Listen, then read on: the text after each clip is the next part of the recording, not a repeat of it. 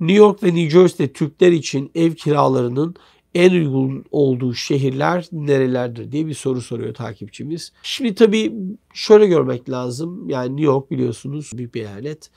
New Jersey de büyük bir eyalet ve dolayısıyla merkezlerin olduğu yerlerdeki kiralar mesela Manhattan gibi bir bölgede kiralar yüksek olacak.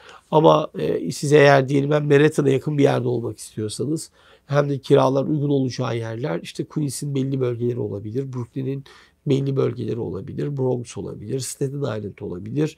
Bu tip yerlerde çok daha Manhattan'a kıyasla daha uygun kiralı yerler bulabileceksiniz. New Jersey tarafında da Manhattan eğer yakın yer düşünülüyorsa genelde bu West New York taraflarında Union City noktaları taraflarında uygun kiralar olabiliyor ya da Jersey taraflarında bu şekilde değişecek. Ama tavsiyem size e, işte internet üzerinden de kiralık yerlere bakabilirsiniz ya da emlakçılarla görüşebilirsiniz.